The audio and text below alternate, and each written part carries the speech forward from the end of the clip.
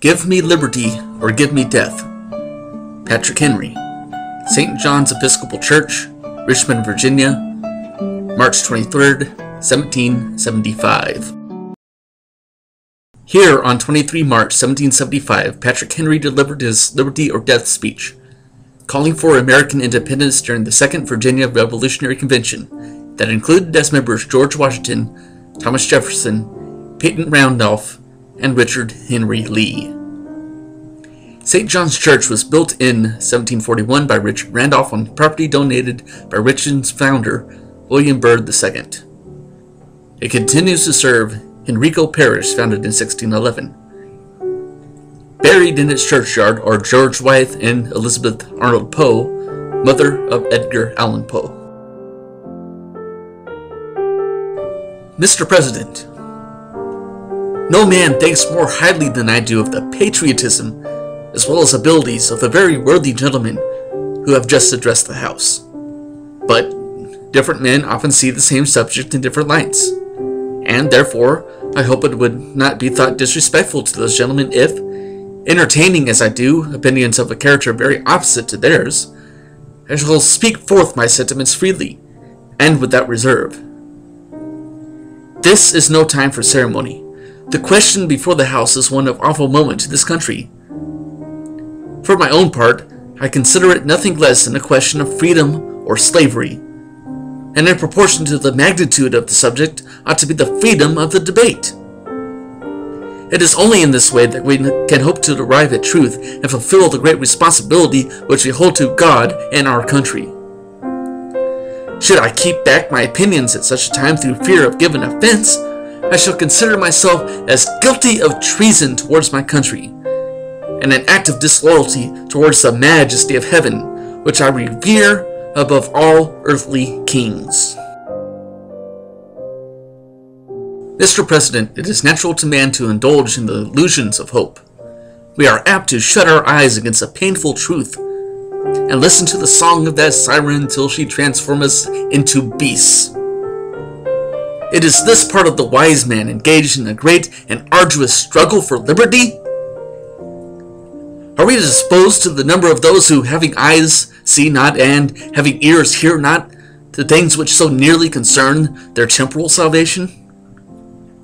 For my part, whatever anguish of spirit it may cause, I am willing to know the whole truth, to know the worst, and to provide for it.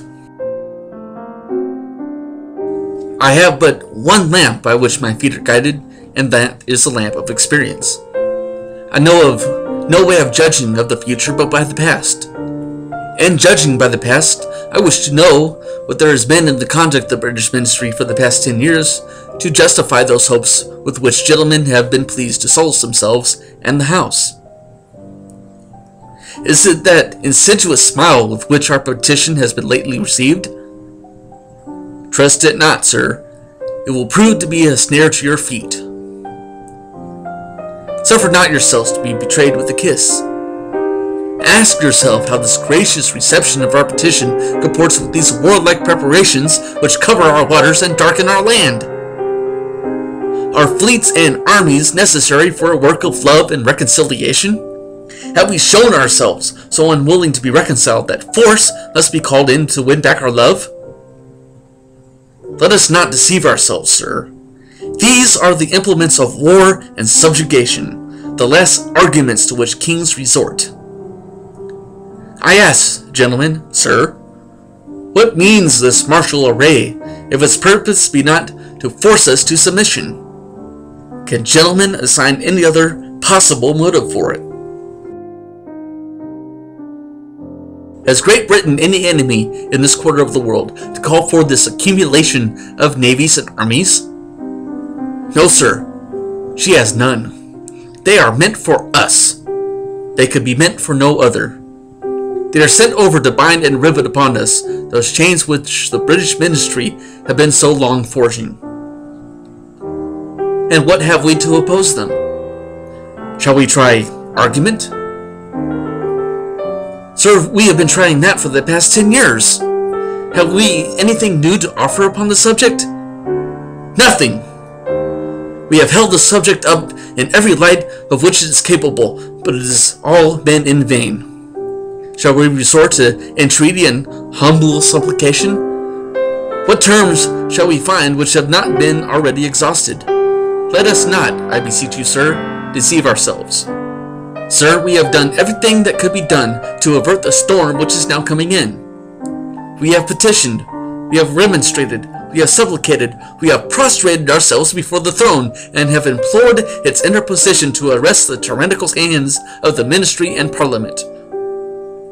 Our petitions have been slighted, our remonstrances have produced additional violence and insult, our supplications have been dis disregarded, and we have been spurned with contempt from the foot of the throne. In vain, after these things, may we indulge the fond hope of peace and reconciliation. There is no longer any room for hope.